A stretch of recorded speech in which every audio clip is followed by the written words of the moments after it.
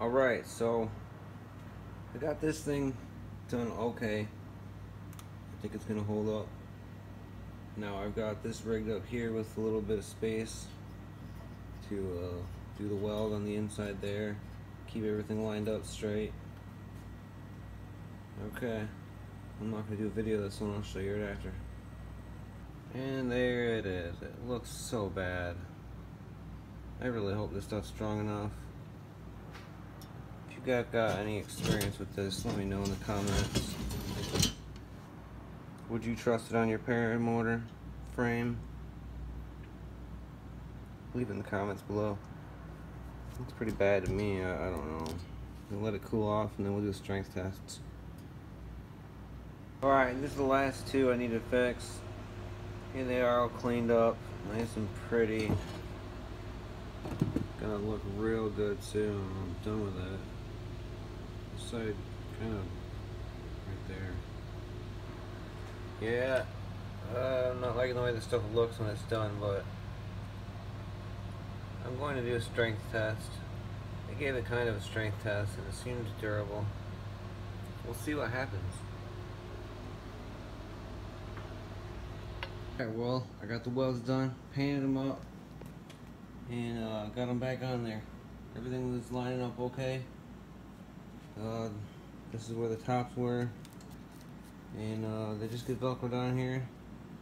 Like I said in the beginning of the video, they were welded at one point, but I had Dremel through, that's where it was. Everything's looking good. It's pretty square. It was a little tough to get them on there. It looks as though uh, it's going good though. So all I gotta do, I velcro these little loops around here that holds the bottom frame on the top. Put the seat back on on this spot, this spot, connected this back onto there, which connects up to the front. A little strap there, so if you take it apart, keep track of how long that rope is. I put twist ties on mine so I know. But uh, as you can see, after I got a little paint on there, I just used paint markers from Hobby Lobby to cover up all this area is just paint marker. See where the paint was chipped. But it looks great. It's even got the same kind of gloss to it. Everything up here, paint markered it up. Even fixed a few other little spots. So what I'll be doing next is reconnecting the gas tank, reconnecting the hoop system, hopefully uh, gotta grab that thing out from inside there you can see it that's the little button poking out that hole there.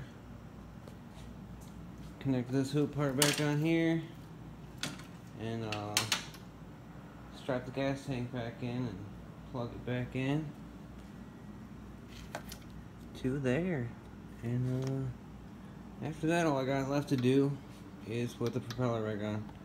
So I'll get one more video of everything put back together all the way after I get it done remember to like and subscribe my videos uh, I'm going to be going to paramotor school September 18th at Fly MI PPG in Michigan I'll have a lot more videos coming up in the future so make sure you subscribe keep an eye out for me and uh, I'm gonna get the rest of this together here.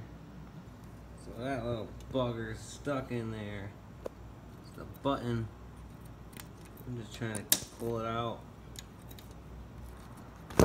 Using my camera as a freaking flashlight.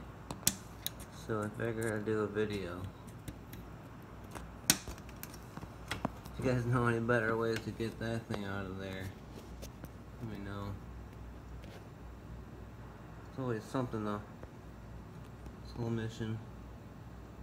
It's been tough. I'm gonna try to put a screw in there. I don't know.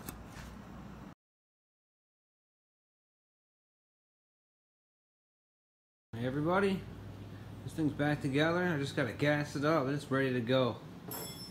Got this brand new propeller. I'm not gonna break this one. So, aluminum weld works okay. This is a follow-up about that. Um, the weld wound up breaking right here on that piece. And it was because of the tension that I put on when I was pushing this in. It wasn't lined up perfect, so I had to push it in this way a little, and then just overnight it cracked. So I redid this weld, and now it's fine. The weld on the bottom seems to be holding up fine, and I added a little foot down there, but it still had a little bit of wobble to it, and I don't want it to fall backwards, so now it doesn't fall backwards. It's great. Everything's working out pretty good now. Uh, I wanted to let you know that instead of trying to aluminum weld, when I fixed this one, of course this one over here melted, so I put a brace on there.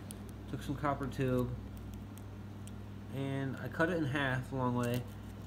Uh, I wrapped it around where this piece goes together. Uh, and then I put two bolts through it, one on each side of the crack. After that put together, I also put JB weld in there instead of trying to aluminum weld it. And that was just to fill in the cracks, kind of give it more stability. So far, I don't see any more cracks on the spots I fixed. They're looking pretty good. And this puppy is, I think it's ready to fly again. I got paramotor training coming up soon. So I'm to have a lot more videos for everyone to see. So please subscribe. Tune in. I'll have videos of me in the sky. I got a helmet cam. I got my paramotor. I got a wing already. So I'm to be doing training videos. And uh, leave a comment below if you're interested in flying. You know, if you have any questions, just ask. And any comments. If you want to just, you know, say a bunch of rude things, please feel free. And subscribe. I want to I just want to help out anyone that's interested, you know. Obviously, this is an old paramotor. I bought it used, but it's only a 2018. It's just been through some a lot of probably uh, quite a few crashes. But since the last video, all I really did was tighten up my netting, get my gas tank back in, a couple spots where I'm just gonna tighten it up with some zip ties. Um, connected up the gas hose, everything's connected there. Did the little things, replace these, which are like zip ties going through old hose that kind of wraps around it. So it helps it, I guess, with vibrations. I don't know. That's the way it was, so I'm sticking with that. Uh, like I said, if you guys have any comments below and uh, questions, feel free to ask. Let you know where to get a good propeller. I keep this is the second one I've had to buy due to my landing on my butt. But yeah. This seems crazy, man. Thank you guys for tuning in. Hope you have an awesome day.